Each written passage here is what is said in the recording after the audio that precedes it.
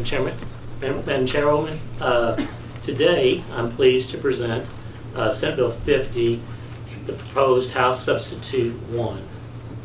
Uh, This bill clarifies abortion reporting requirements and requires abortion pill reversal information to be given at the time the abortive drugs are issued. Uh, I have with me today uh, two national experts who will share why they believe Senate Bill 50 is necessary, and two Kentucky experts, one that has practiced OBGYN in Murray for over 40 years and has delivered 12,000 babies in his career, and has real success stories related to the abortion pill reversal, and a crisis pregnancy nurse that works with young ladies daily in crisis pregnancy situations.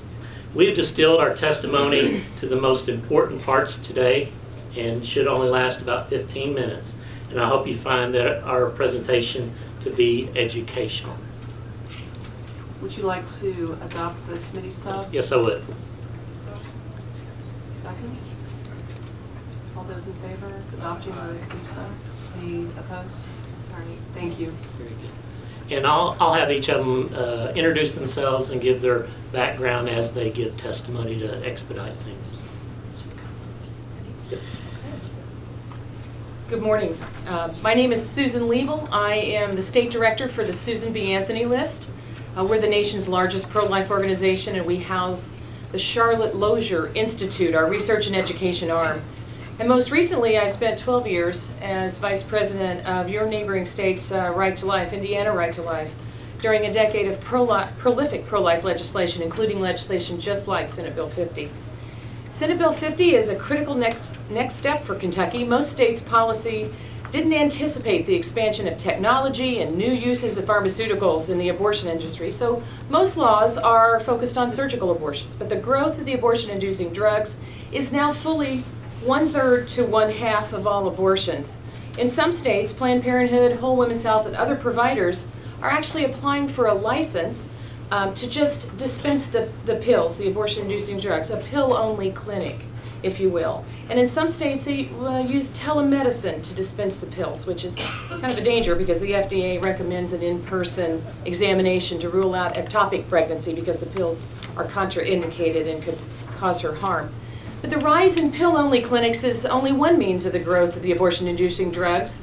A lawsuit filed in Hawaii by the ACLU was to make the drug regimen available by prescription in all pharmacies across the United States. And our Charlotte Lozier Institute has found 72 unique websites that have been identified to sell the drugs uh, online for an average of $167 per kit, but sometimes they say uh, bundle up, buy two, three, four, and save for use in your future pregnancies. Now I digress a little because it's not legal for women to buy them online, but the policing of that is, is nearly impossible. So I say this to show you how widespread the use of the abortion-inducing drugs are, but there are a few problems which could spell disaster for women who take them. When the U.S. Food and Drug Administration approved this abortion-inducing drug regimen, mifepristone, mifepristone, it did so by recognizing some of the risks involved and requiring a risk evaluation and management strategy, an REMS, like rules to follow when the drug is dispensed.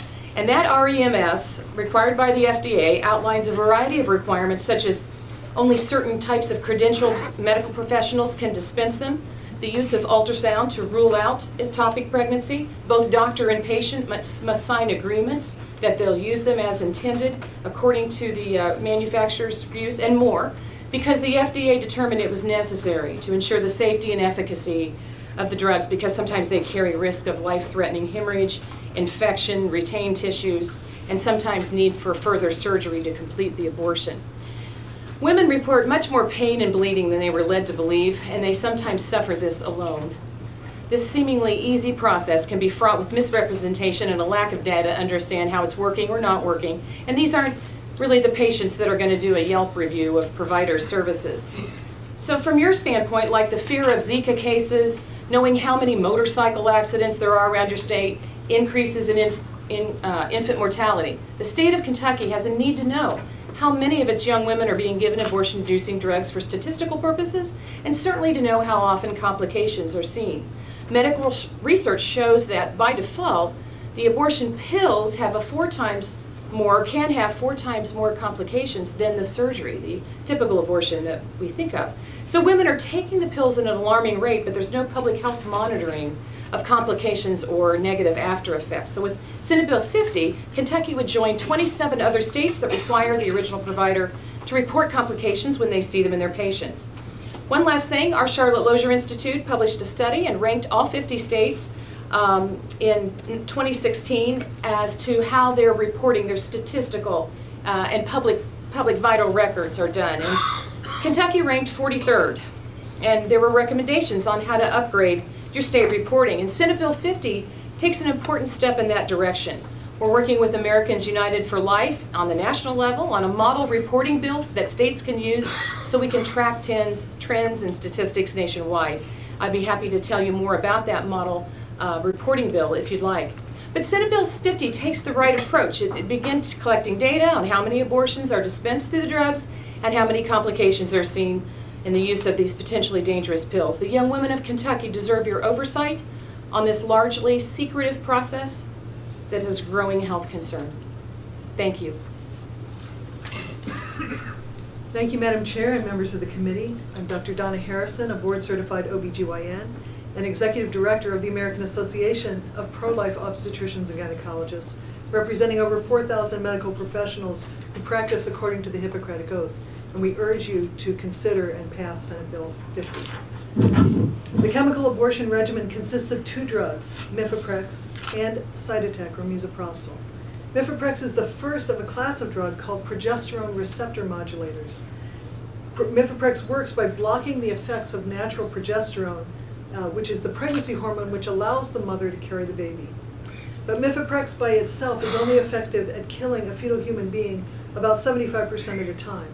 So roughly one out of four women who take Mifeprex by itself, without taking the second drug, will have a baby who will continue to live.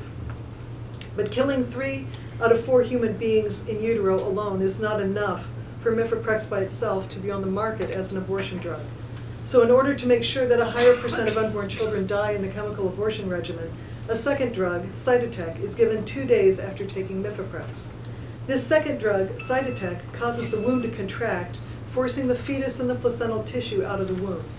Together, these drugs cause 95% of women who are seven weeks pregnant or less to complete the abortion.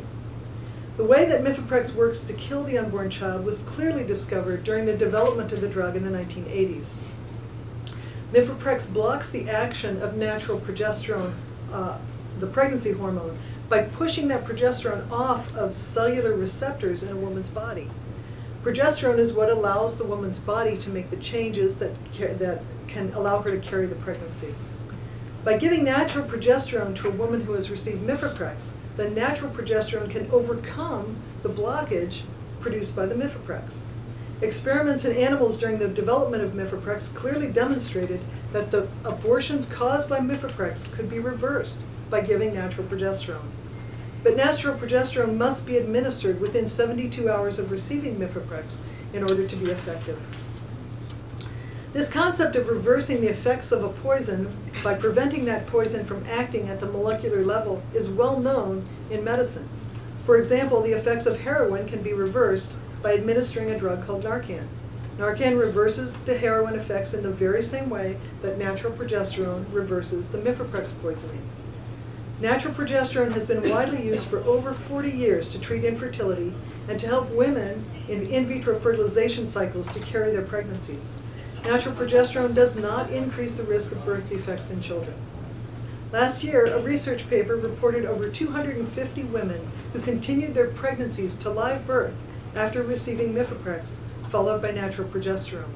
The survival rate of unborn human beings after being exposed to Mifeprex increases from 25% if they don't get the progesterone to 68% if they are given natural progesterone within 72 hours. There was no increased risk in birth defects. A network of abortion pill rescue physicians exists around the country so that women who change their mind after taking Mifeprex can be put in contact with a physician who will give natural progesterone to reverse the abortion. But the woman has to know about this option in order to call the network in time. That is why it is critically important that a woman be informed of all of her options, including abortion for reversal, as part of a full co- informed consent process before starting a chemical abortion. To deny women this information is to deny her full informed consent. I have also submitted a written testimony with more details, and the American Association of Pro-Life Obstetricians and Gynecologists urges you to pass this bill. Thank you. Hi, thank you guys for having me. My name is Cynthia Nunn. I am the nurse manager for Marsha's Place Pregnancy Medical Clinic in Henderson, Kentucky. Um, it's an honor to be here today. There's so much talk, talk about abortion, and I am actually the one that gets to sit right across from them and talk to the women that are actually seeking an abortion, have questions about abortion, are just in such a crisis moment. Um, it's quite an honor to be able to be in that position and speak to them. Um, I'm proud to say that we are one of two pregnancy medical clinics in the state of Kentucky that can offer the abortion pill um, reversal protocol through my OBGYN who oversees um, everything we, that we do at our center. So in that moment when they're in crisis, that is exactly when we get to intercept most of the time. And by that I mean just hear them out, see where they are in life, see what's happening with them, answer all their questions about abortion, about adoption, and about parenting. And if you've been a part of any of those three, none of them are easy. Parenting is not easy. Giving your baby up for adoption is certainly one of the hardest decisions to make. And as I said before, women, and they're so torn on what to do. It's not like they're making an easy decision. They don't come to me saying, I want to do this, and this is the easiest decision for me to make. So abortion pill reversal for me is a way to educate them to know the whole story as I, you know, I talk about ectopic pregnancy and miscarriage with them and it's a part for them to get the whole picture. Um, so that when they do walk out my door, they are fully informed, that they have all the education they need, and that they're empowered to make the best decision for them. Thank you. Um, Are there any questions? Representative Burch?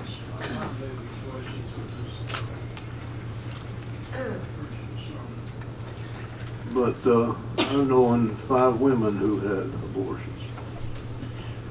I call them when a bill like this comes up and ask them if they have no regrets. They don't. They knew why they were there. They saw what was presented to them, and they knew that they could not and would not go through with that pregnancy.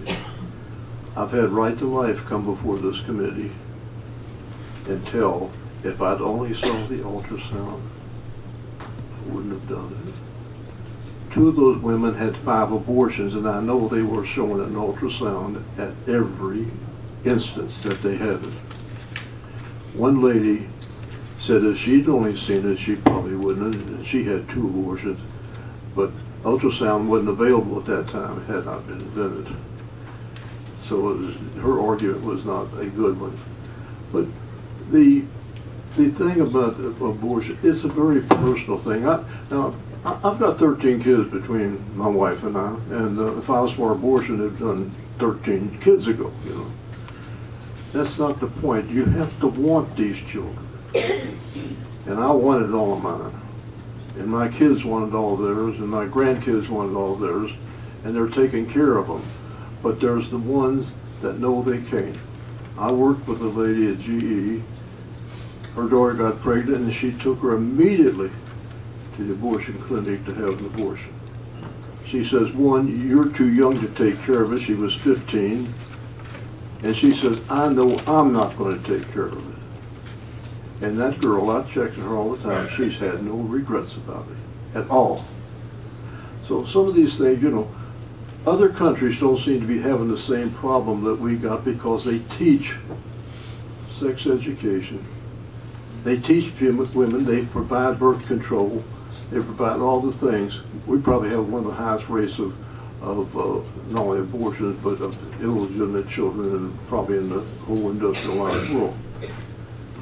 We've got to start somewhere, but it can't be infringing on one person's rights to make a decision. If, if she goes to a doctor and the doctor prescribes that, he tells her the consequences of, of that drug. Am I right, doctor?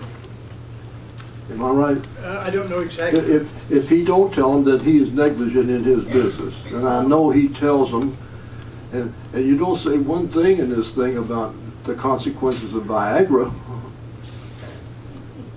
And that's not different, it's all about birth control. The So- consequences of Viagra is pretty serious too, you should write that in. So is this a question you had for us? The question was, a doctor who, who prescribes these out- day after pills and so forth, does tell the patient what the consequences are. Is that, not? that's my question. Representative Burch, many places in the country, abortionists are informing patients that there is no way to reverse it if the patient changes her mind. So the purpose of this bill is to allow women to have full informed consent, which includes being informed that if they change their mind, and that's their choice, if they change their mind, there is a way to reverse this drug. But they need to know about that before they start the abortion because the time course is so quick. And that's why it's important that abortion providers be required to give this information to patients as My part of full reverse informed question is, consent. Would the doctor tell them that, a good doctor? Say there, there are, you I thi- I can think reverse this if you want to, wouldn't the doctor do that? Well, the problem is abortionists across the country are not telling women that this information is available. They're There not. are doctors who are not abortionists that provide this pill. And don't tell me there isn't, now there are. Well, this was from Planned Parenthood in Nashville, Tennessee, and they were informed, this, these patients were both informed that it couldn't be reversed, number one, and number two, if it were attempted to have reversal, the babies would have birth defects. Well, what- Both of those statements are absolutely false. We have a motion on the bill. But- Well, the question on the bill, just Second. want to follow up, ma'am, if I would. Well, if you can please limit it to a question, that would be helpful. Never mind, I'll just pass. Um, We do have a few, uh, we have a motion and a second on the bill, but we do have a a few um, other questions, which I will allow Representative Bentley. Thank you, Madam Chair Lady. Um, I have a question. Is the physician the only one reporting this when it happens? According to the bill? Is there any other personnel involved in recording the report and the use of the medication? The, the, you're talking about the report of, the reporting of, the, the facility that the abortion occurs is responsible for reporting uh, the abortion, and that's 15 days after the end of the month. Uh, The, the ex- the extended and expanded reporting is really a clarifying measure to make sure that uh, it's clear that prescription or chemical abortions are considered an abortion and must be reported. And that's already in law then? In my opinion, and several people's opinion, it was very vague, and that's what part of this bill clarifies, that all chemical abortions must be reported. Thank you, Senator. Thank you, Madam Chair Representative Willner? Thank you, Madam Chair. Um, I was curious, um, there's a list of five specific drugs and then the much broader, uh, any other drug or combination of drugs. And I was just curious to know if these drugs are ever uh, prescribed for any other purpose other than um, abortion. Well, the RU four eighty-six is exclusively reserved for that process. The other drug, the second drug that's given, is called misoprostol, and it's commonly given for a number of different reasons. Uh, Postpartum bleeding, sometimes that's used for that, and a number of other reasons. It's also used for the induction of labor in term patients that have normal viable pregnancies at term. So it is a common drug that's used, but the other drug, misoprostol, mifeprex, RU four eighty-six, is not, is not used by any obstetrician other. And and additionally, if you look on uh, line 16, page 1, it says, uh, it's, it- when it's, when they're prescribed, when the prescription is intended to induce an abortion. So that would be the doctor's call if they, uh, you know, prescribe uh, Pitocin or something like that for a a general medical uh, situation, they would not have to report that. Thank you. A quick follow-up question. Um, I'm really in favor of women having all the information they need to be able to make informed decisions. Um, It's not entirely clear to me how creating this registry or this reporting structure would ensure, I mean, it seems like a medical ethics issue. So how does this solve the problem of women not having accurate, full information to be able to make informed decisions? The, I mean, the reporting, the reporting gives us statistical data that I think is important for our state in many, many reasons. The, the full information is the information that the RU486 two-pill process can be reversed if you only take the first pill and not the second pill. That's what we are referring to as full information, fully disclosing all of their options, and that's what this bill, the committee substitute, is requiring, that that information be given as well as other information about the drug, so they leave the doctor's office or the clinic fully informed and know that if they regret the situation a day from now, that there is a process, a phone number or a website that can be reached to, to reverse it. Uh, Representative Goforth. Thank you, Madam Chair. Do you know how many of these reversals are done annually in the United States alone? Any idea? I- My understanding from looking at Dr. Delgado's testimony, which I think has been submitted to you, is that he has reported over 500 successful reversals. Wow. There are more attempted because not, not every time you give progesterone do you have a successful reversal. But the chances of survival go from 25% chance of survival to 68% chance of survival by administering the progesterone. So you could back calculate from the 500 successes how many uh, attempts there have been. I, I just want to thank you, Senator Mills, for bringing this piece of legislation. Uh, It's way overdue, and I hope that these ladies are very educated on their options in the future. Thank you very much. You. Thank you, Madam Chair. Thank you. Um, Representative Marzian. Thank you, Madam Chair. My question is um, about case studies and research being done. And there is one in here from that Dr. Delgado, but are there any other uh, research across the country that you could point to that I could look at? Uh, Dr. Delgado published the first uh, short case series several years ago, I don't remember, probably four or five, and then his most recent case series was uh, published last year. That's the 2000, or uh, 216 or so successful reversals. And I am aware of a continuation of that particular study on a nationwide level, but there isn't data from that yet. There's also Dr. Grossman that also published a case series in 2015, and his success rate was 66% if uh, progesterone was used shortly after taking the methotrexate. Um, Representative Jenkins. Thank you, Madam Chair. Um, I guess this is to one of the uh, physicians. I'm just curious, given um, the, the list of um, side effects and the recuperation from this type of termination, why do women pick a medication over a surgical? Or why do you think, I guess? Well, I think this has to do with the very purpose of this bill. I think that for the abortion provider, it is much more convenient to uh, give a pill, and if she has a complication, simply tell her to go to the emergency room, so that they don't become aware of the complications, nor do they handle the complications. It's much simpler for the abortion provider, and so there's a lot of incentive for abortion providers to, to give pills instead of doing the surgery. The second thing is the information that the women are given about the pill, um, about the pill process is often not accurate. Women can, can actually pass the tissue at any point for weeks. So she may be in the elevator or in the car when she's cramping. I mean, she's not gonna pass it immediately when she takes the second pill. So women are not understanding this beforehand, and the reason I can say that, and- and Sue, you can back me up, is that um, we are aware of many, many, many stories from across the country of women saying, I was never told this is what the process is going to be like.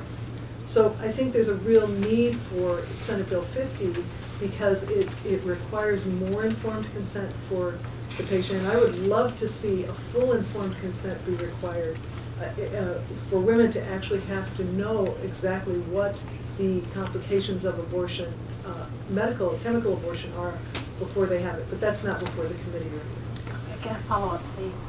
So you are testifying that you believe that folks, doctors that are providing this service are practicing malpractice? What I believe is that the women's stories, that they were not told what to expect, I believe women. All right, thank you. We have some um, guests who have signed up to speak, Dr. Nolan and uh, Kate Wood. Okay. A couple of things were addressed that I would like to Can bring you up. please introduce yourself for I'm, record? I'm Dr. Nicole Nolan. Thank you. I'm a Kentucky physician. I've lived here most of my life, practiced medicine here the whole time I've been practicing. Um, so, uh, first of all, you ask if mifepristone is used for anything else besides abortion or as an abortion pill. And the answer actually is yes. There have been a lot of clinical studies looking at mifepristone for ectopic pregnancies, um, in addition to some um, spontaneous abortions, which are what the medical term for a miscarriage. So it is used in some other scenarios as well. In addition to the Cytotec, which is a very commonly used medication in OBGYN. It's one of the ones we use every single day. Um, I am all for patients who are adequately counseled. As a physician, it's one of the largest struggles in my life to try to get everything, which is so many years of training that I have in all of these medical procedures and medical problems, to try to condense all that information down for a patient is very difficult. There have been a lot of studies showing that patients don't have a good retention rate for uh, counseling information that you give them. I think a large study showed that patients remember on average about three things from every doctor's visit or hospital stay that they have. So I'm not surprised that a lot of women don't remember an extensive list of medication counseling, even after something like a medication abortion. Um, it is a process that can go on for a long time. Um, it can go on for a couple weeks. Um, even if you're using the medicine to treat a spontaneous abortion, which again is a miscarriage, which again you can use mifepristone and Cytotec, which is misoprostol for, that can go on for a couple of weeks. And those patients should have follow-up. They should come back and be told that there's a chance you bleeding. If you have excessive bleeding, you could come back and need a procedure called a D&C. Okay, and that's even not counting medical abortion as part of that therapy. As far as giving progesterone for reversal, my main concern is the concern of the American College of Obstetrics and Gynecology. They put out a statement um, talking about medication abortion. And the statement from ACOG, which is the leading body of OBGYN, is that abortion reversal procedures are unproven and unethical. A lot of those case series were done without IRB approval. So that's the regulatory body that governs all medical studies done, even at our local institution up to the national level. Um, again, those case reports um, oh, have not shown like consistent evidence. I would say a lot of them uses different doses of mifepristone or of progesterone to counteract mifepristone. Um, the study was not supervised again by an ethical committee or an IRB, and case series with no control groups are again one of the weakest forms of medical evidence, if you're familiar with the literature. Um, I think patients should be counseled appropriately. I would like all my patients to know all of their options for any medication that they take or any procedure they undergo. But I don't think physicians should be required to tell patients information that is medically inaccurate and that their medical governing body does not support. So if ACOG tells me that it's unethical to tell a patient that her medication can or her medication abortion can be reversed with progesterone, then I don't want to go against those professional standards. Thank you. Uh, my name is Kate Miller. I'm the Advocacy Director for the ACLU of Kentucky. I apologize, we had not planned on testifying today. We were not prepared to testify given that Senate Bill 50 in its original form was dramatically different than what you have in front of you with the committee substitute today. Um, and with that in mind, we did not expect to testify on this piece of legislation. I apologize, you may have even heard an outburst when I heard about the committee sub, but as you all may know, I'm about 21 weeks pregnant myself, so I'd like to formally blame the hormones on that. Thanks for the laughter, that was not warranted. Um, so, uh, just to be clear, this piece of legislation, uh, from our perspective, is unconstitutional. It will uh, be seriously considered for a challenge from my organization, the ACLU of Kentucky. We've seen similar legislation thrown out in other states. I'll um, provide the one example in Arizona when the law was challenged, they could not come up with one legitimate expert to defend the law in court, and subsequently, the state of Arizona actually came back to the legislature following the passage of similar legislation and repealed their law. So we would advise against passing this bill, or perhaps, given that you are just seeing the committee substitute today, I imagine, please just give it a little bit more time before moving on this piece of legislation, especially considering that you all do have a number of other bills restricting abortion that you're currently um, moving through the General Assembly. So we would just really urge you all, and we know this is an issue that is very important to all of you all, and, and certainly many of you do not agree with the ACLU, and we want to respect where you all are coming from, but with something this serious, we ask just for you to provide a little bit more time for the consideration uh, before you and your colleagues. So uh, thank you so much. I think uh, Representative Goforth, do you have a question? Yes, Madam Chair. Um, Where in this committee sub, because I've read it since I've been sitting here, where does it say it restricts abortion? Our, oh, sorry, I was referencing other pieces of legislation. We're talking about this one though. So the So new where- language, and you'll have Where- to, Where does it say it restricts abortion? you'll have to, excuse me, Representative Goforth, since we just saw it, but we believe that How, how can you testify against something that you don't know what's in it? We believe that the new language um, that was considered today, can, does anyone know the page number of the? Page four. Page four, thank you. Will, is intended to, um, By providing education? is intended to, um, You, you Enforce women that It's restricting abortion and you don't, you haven't read it, so how are you testifying against it? And there's nothing in there, I read completely through it while I've been sitting here. There's nothing in there that restricts, all it does is provide education. we believe that the best people to educate pregnant individuals on their Are there physicians? Yes, sir. Okay, and that's what it says. Sir, I have to just acknowledge, I think we probably... We're going to agree to disagree then, because I've read the bill, you're testifying against something that apparently you have not read, because you- you couldn't identify any of your remarks in there. It does not restrict abortion, it's merely providing education. That's it. And That's it. And certainly, So, that- we would love to save a life. A, a life. It may save a life by providing that proper education. we There's been 60 plus million children murdered. And if this saves one life, then I'm a yes vote. That, thank you, Mayor. Chairman, may I, res- may I respond? Quickly. Uh, So, of course, with any piece of legislation, it can be challenging to get the full understanding, and we would certainly appreciate in the future, when you have a committee sub, having the opportunity to review this type of language in advance of the hearing. It does make it very difficult to understand legislation, particularly when you have it just moments before commenting. But we believe that what is advised in this bill is inconsistent and um, undermines the ethical responsibilities of doctors and provides misleading and false information that can be dangerous for patients. Thank you. The, just um, FYI, the committee sub was sent out yesterday Oh, I'm so sorry. to members. right? Um, Representative Marzian? Thank you, Madam Chair. I just have a, uh question on the, um, requested info to be given out. Uh, has had no clinical trials, correct? And, um. Case studies. Case studies, I mean, sorry. And would you consider this similar to the, um, false rumor that went around for years and may still be going around that an abortion causes breast cancer? There has been research done on the link between abortion and breast cancer, and that has found to be debunked. Um, I don't know what strength of evidence was used. I know that this series is a case series, which is again just giving a drug to patients.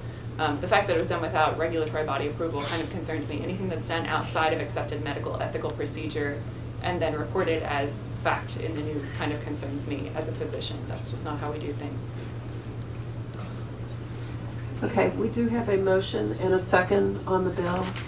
Um, I thank you for your testimony. Thank you for very the much. opportunity. Thank you very much.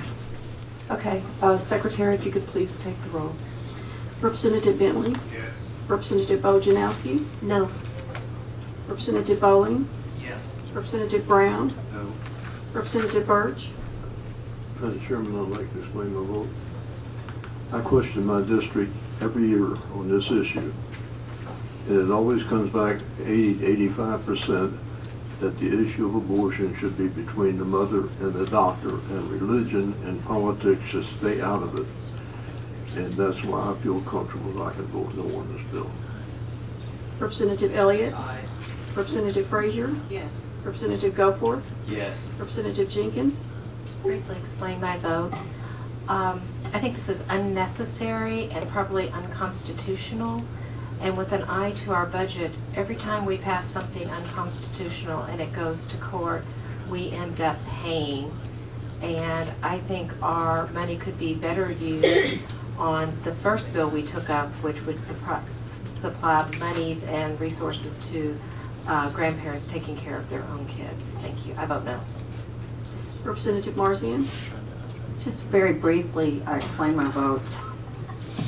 I really believe that uh, a personal, private medical decision needs to remain personal and private between the physician and the woman. We do way too much meddling with women's uteruses, and I vote no. Representative Lewis? Yes. Representative Gibbons Prunty? May I briefly, briefly explain my vote? As someone who comes from healthcare, I believe that statistics are needed. I don't know why they are not, not kept on abortion clinics any more than they are in other health facilities. And as someone who believes in fully informed consent, I, I vote yes. Representative Raleigh? Yes. Representative Raymond? I vote no. I'd like to explain why. Um, I heard the process of these uh, prescriptions being written described as a secretive process. Um, and I happen to have, it made me think of this that's in my pocket. I have a tampon in my pocket. It's not in my pocket because my period is a secretive process. It's private. And I believe that any prescription written for me or anyone on this panel or anyone in this audience is private.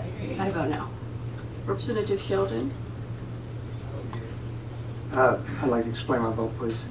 Uh, I would say that it, the thought that not even one uh, lady has changed their mind after they began to, to make this decision, it would be ridiculous for any, of us to, to believe it not to be true. We've already heard testimony that hundreds of, uh, of, of reversals have taken place.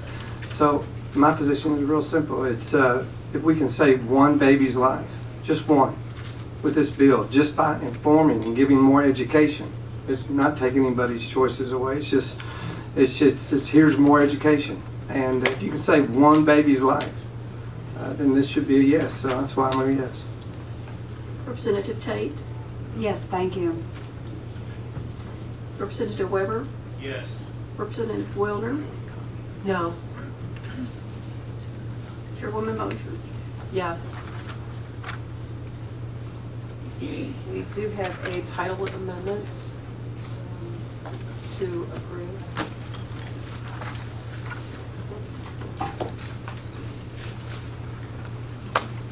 An act relating to reporting on abortions. We need a motion to approve.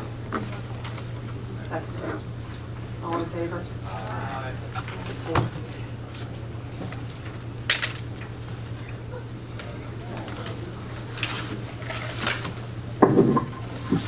Senate Bill 50 passes with favorable expression and should do the same on the floor. Um, Thank you all for your, your compelling testimony. Um, I believe it was very educational, and I, I thank the sponsors for bringing this. Hi, I'm Richard Nelson with the Commonwealth Policy Center. You can find more of our videos on YouTube and Vimeo. And for more information about the Commonwealth Policy Center, go to our website, commonwealthpolicycenter.org.